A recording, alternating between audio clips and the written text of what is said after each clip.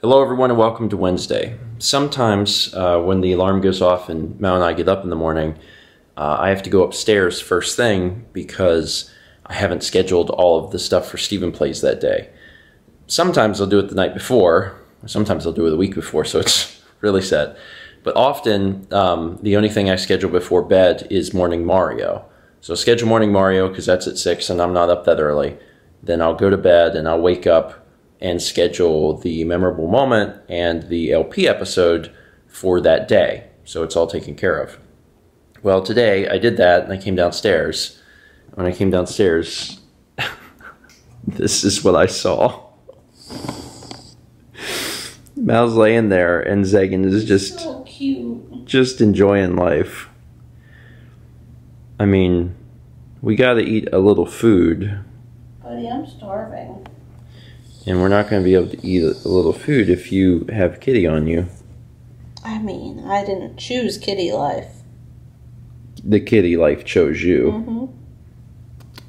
Zagan, hey babe, you're very sweet, but like, we we got things to do. He's so good. We got things to do. This is easily one of the hardest parts of working from home, I think. Is that cats like come spend time with you and you don't want to turn them away. He's a good boy. It's a little bit later and more importantly, it's chicken tendy time, which is a fun thing to say. But for Zagan, it's it's try and get the toy that I threw into that discarded uh, trash bag box. There you go. Might be wondering why we have that there. And this is the box that the air fryer came in, and then we stuck the the cooler on top because we had given it to my parents to borrow so they could Put hold some stuff in if they need put on to. yeah hold hold on to more stuff whenever they were switching fridges but when we had the the air fryer box here the cats kept trying to jump into it And there's still some things in it that we need to pull out. exactly there's still some stuff in it so we put that on that instead and now it's now it's a new kitchen island we love it anyway um so how how are tendies going I have no idea. you have no idea I'm just about ready to start breading, so we'll see how this goes. you're doing that on a plate That's what it said. oh okay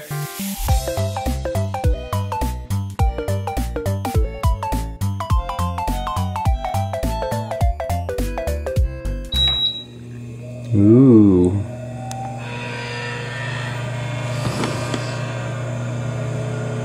We getting tendy tonight! So the first batch of chicken tendies are done. They wouldn't all fit in one of the baskets, so we have to do another basket just for the remaining two. But Mal noticed something very interesting, swapping between the two. She said that the start button was really hot.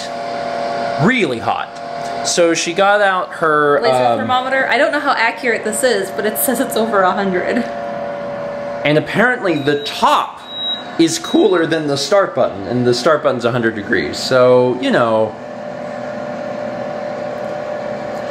maybe take that into consideration if you're looking at an air fryer. This is that Emeril Lagasse model, and the buttons get, um, you know, a little warm. But the real question is, how do these chicken tendies taste? And I don't know. They look like chicken tendies. I mean, it's like an oven baked chicken tender. Really? Mm-hmm. So it doesn't seem fried? I mean, there's a breading on it, but it doesn't taste fried. Like, Really? yeah. I'll try one before I sauce this up. Yeah, I um. These are good. Mm-hmm. I'll be really good with sauce, but I hate to break it to you, these aren't even really like remotely. I mean, you're not hurting my feelings. You can kind of see like a little bit of it on the edge, maybe. I didn't want to overcook them and dry them out because they want. I got them to temp, Oh. so Like on the other side, uh huh, where that brown was, uh huh. It kind of tastes like it's starting to be fried a little bit. But like I don't know that it like it it it doesn't seem like it's fried. You know what I mean? Like it doesn't it doesn't really taste like it's fried at all. So